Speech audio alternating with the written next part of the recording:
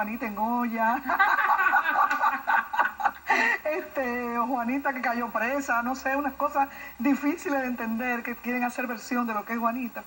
Pero yo tampoco los culpo, ¿verdad? Porque es, si es para ellos difícil, los que quieren sonar en la radio en Navidad, este, luchar contra eso, díganmelo a mí, que yo quiero que se escuchen canciones más recientes y no puedo. Eso es lo que se llama un fenómeno musical. Me encanta y me, hago, me hace sentir muy bendecida el hecho de que yo soy parte de esa, de esa historia musical y de ese protagonismo, porque de, verdad que no hay fórmula para un hit.